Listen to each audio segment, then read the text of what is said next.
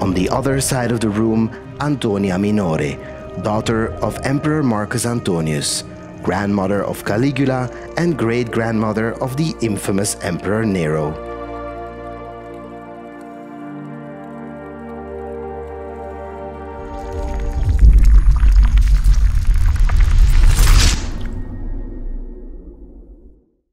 Well, hello everybody and welcome back to another episode on the Dive Saga channel. A deep dive episode. Again, as you know, that means we discuss last week's episode. Every two weeks we do an amazing uh, adventure dive and uh, on the in-between weeks uh, we try to discuss them and answer some viewer questions.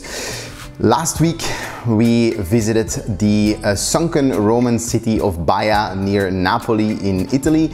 If you have not seen that episode, I'll put a link below. You do have to watch that. It's pretty prerequisite to following this specific episode. Uh, and I already mentioned it. It's, I think, my favorite episode until now. Um, there is somewhere on this uh, channel a top 10 list of my personal favorite dives so far, at least the ones I've done. Uh, if I had to remake that list today, I think this one might be on the top. And that's funny because when we surfaced, I told Gabby, you know what? I really like this dive, but it's pretty static. I don't know if I ever need to do it again. And in the editing process, all I could think was, oh, I wish I could go back. And not because I missed anything, it's pretty complete in terms of footage, but the amount of details as I started researching who's who uh, in terms of the statues, what's what in terms of the mosaic floors, um, it's just so amazing to dive into history. Um, so yeah, today we're going to answer some viewer questions. We're going to talk a little bit more about about where it is, how you can get there if you want to do that dive yourself. And we're also going to have, of course, a preview into next week's uh, adventure episode. So uh, thank you everybody, really well received uh, episode here about the sunken uh, Roman city and uh, yeah, channel doing really well. As you know, the goal is to make this the ultimate scuba diving resource and uh, I'm so grateful for everybody's support. So the first thing I need to do is actually, I need to thank someone. Um, a few months ago before I went to Europe, I posted on our Instagram page, which you should follow, uh, if anybody has some cool, unusual European dive sites. And um, among others, such as for instance Tech Dive Sana with her beautiful uh, mine dive that you should check out as well. We uh, and and Vinkeveen in the Netherlands, which was super great. Uh, those were all viewer suggestions, as was uh, this particular site suggested by Pepe, uh, goes by the handle Rookie Diver. You should maybe check out his page, and he said you should go to Baia in Italy. And so I did. I always try to take your suggestions. I'm not a millionaire, so I always need to kind of time it with when I am in the area and when the budget allows it. But this was just amazing. So pepe thank you so much for that suggestion. Uh, like i said maybe my favorite dive ever so far um, the whole episode hinges on uh, the idea that this uh, piece of land that this ancient roman town was built on actually sank into the uh, the ocean. So it is near the vesuvius volcano but unlike the cities of pompeii and ercolano that actually got uh, pompeii got covered in lava and then ercolaneo got uh, yeah, uh, vaporized by a, what do you call that, a pyroclastic shockwave. Uh, this actually just sank. So there is a big uh, magma chamber under that whole area and when this chamber empties, the whole area just slowly goes down. And so some of it actually sinks in the ocean because it was already close to sea level to begin with. And then over the course of another thousand years, it will eventually rise back out of the ocean. So that's actually pretty crazy if you think about it in a time that we won't live to see, but in another thousand years, uh, Baia will actually be uh, re-emerged once more and whatever is left of the ruins will uh, yeah, you'll be able to visit it by walking there. But for now, it's only visitable, visitable, visitable by uh, scuba divers. So that's us, right? Super cool. Um, I didn't even um, really research it too much before I went, uh, but I booked it because it was the day uh, of my 39th birthday. So that's really cool.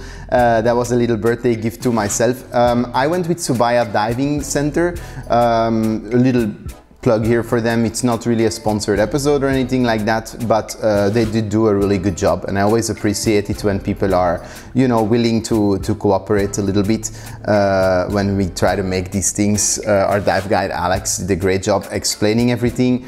And uh, yeah, you can actually book a private guide. You pay a little extra, but that's what I did because I wanted the cleanest possible shots. Uh, and yeah, we did get them. The vis was not great. Apparently, if you want really good visibility, you should actually go in winter. That's what they told us. Uh, we went in, uh, well, May 18th was uh, was the, the date of this dive. Um, but what an amazing birthday present to, uh, to myself. You, the best way to get there, if you want to get there, is uh, stay in Napoli, in Naples maybe, um, and then um, honestly do not, drive, do not rent a car and try to drive there. You will not you will, unless you are from Italy, you'll probably not survive it. Uh, it's a great place. Napoli is amazing. The food is delicious, uh, but the, the traffic is not something I recommend engaging in. Luckily, they have a really good railroad network and you can literally take a train in the center of Napoli and just shoot down to, uh, to Baia. And then it's a little walk, but you could also take a taxi, of course, uh, and then it's right there in the bay. Uh, you cannot dive it by yourself. You do need, it's a marine park, right? Uh, the archaeological marine park. So you do need uh, a, a, registered operator to go and dive these sites. And then they cover them uh, every night and then every morning the first guide sort of uncovers all the mosaics with the rocks uh, to show everybody and then every evening the last guide sort of covers them again. That helps preserving them. So that's really really cool. Uh, I have some nice comments from people uh, right here. Sean McCarthy says stellar episode. That's got to be one of the best dive sites in Europe. I agree uh, adding scuba diving Roman ruins to the bucket list for sure. Yeah the Mediterranean often gets like some um, yeah bad rep for being like not having a lot of wildlife and stuff. And actually disagree because in some areas there is really good wildlife where they have marine protected areas. But when it comes to um, yeah just historical diving wrecks the Mediterranean has so much to offer. And yeah the, like the fact that this is there this is actually crazy. I think the only reason that it's not more famous is because maybe there's not really any other like super crazy good diving nearby so there maybe isn't like that expansive market but it's so worth just the visit honestly if you're if you like history. Um, and then Peter Bauer said great episode. I'm thinking you nail it. Thanks. I really try to I'm trying to make it into like an actual TV show. That would be like my ultimate goal. Uh, I really like the statues at the end he says. Yeah me too. Um, caveat it's in the episode as well. The statues are actually like the only thing that's not like 100% real in the sense that when they found them, they realized how much the ocean was actually eating away at them. And so they, uh, they hoisted them out of the water and they immediately made casts uh, and uh, replicated them exactly as they were found. So they put them in the same spot, same, you know, some of them are kind of like half in the sand. They did it exactly like that. There's somewhere the face is gone or like the head is cut off or they're missing an arm. That's how they found them. They didn't try to do any restoration just so you really get the feeling of what it's like to uh, to find them, right? If you're like, I, I really got my inner Indiana Jones on when I when I saw all that. Uh, and then there's also stuff like they didn't remove a whole lot, so some of it's in a museum, but a, a lot of it, for instance, there was this big marble sitting bench that, yeah, presumably is also just too heavy, but it's just kind of there, like half sticking out of the sand, uh, which allows you to feel what it what it feels like right? So yeah 100% like I agree. The statues for me especially because then as I started researching the who's who you start seeing the family connections between all of them and and the idea that uh, Emperor Claudius really built. So it's called a nymphaeum which is kind of like um, call it like an entertainment uh, room if you want. Um, where yeah all the statues were sort of uh, surrounding the room. Um, really cool fact as well the floors are real of course the, the mosaic floors they are as is but there is something that's not in the episode just because I kind of try to stick around a 10 minute runtime uh, every time which is um, they had raised floors uh, made out of I think it's terracotta right? Like a type of clay and um, they raised the floors by about a foot 30 40 centimeters uh, and then that's what they put the uh, mosaic floors on top. And so uh, workers, and that's just a really nice word for slaves, I guess, would, um, would then blow hot air under those floors. And so you got uh, floor heating. And you can actually see those uh, those constructions or part of those constructions uh, as well. So if you have a good guide uh, then you, you it's really crazy and, and, and eye-opening. Um, Save RC says love this channel and Instagram. Thank you. Thank you. I always appreciate it when people just throw like a nice comment in there. Yeah the Instagram is also a little bit where it's at you can find extra uh, information little reels about the episode. And uh, announcements about upcoming episodes as well. Um, we're gonna talk about next week because I got a really cool episode coming up as well. But first, we still have two open spots on our cenote diving trip. So November 4 to 11, 2023. Uh, so you, that only is valid if you're watching this now and not in the future.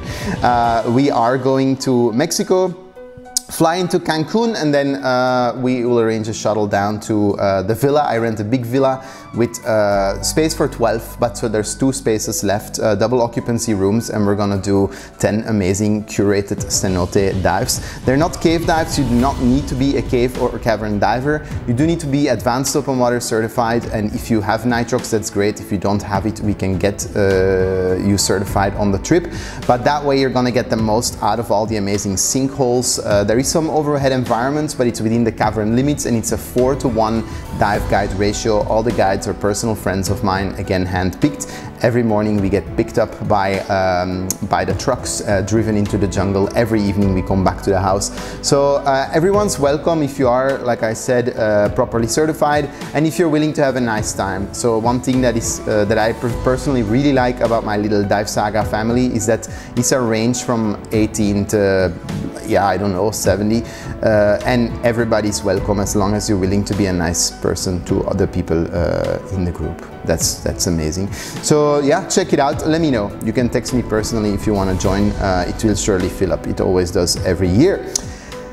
Next week, next week uh, I, uh, will be diving the Um El Faroud oil tanker in Malta. So uh, the Um El Faroud is an oil tanker that actually exploded in the uh, in the harbor uh, of uh, Valletta in Malta and uh, got scuttled. So he's uh, actually one of the more famous wrecks worldwide, I would say. Uh, and I had a chance to do an amazing uh, wreck penetration dive and uh, pour it into a little educational video. And so I did, and that's what we're gonna check out next week. That's about it. If you have more questions, of course, you can always ask them. I'm hoping this episode will uh, live on on the YouTube channel forever because, like I said, it's downright amazing. Maybe I'll even go back. I don't know. I love it. I love it, love it, love it. Let me know what you thought about that dive site as well. As always, if you are not subscribed to this channel, do so because every two weeks we do have an amazing uh, adventure that drops. And uh, if you have suggestions, other places that I should check out, let me know as well. Thank you so much for watching and I'll see you next time.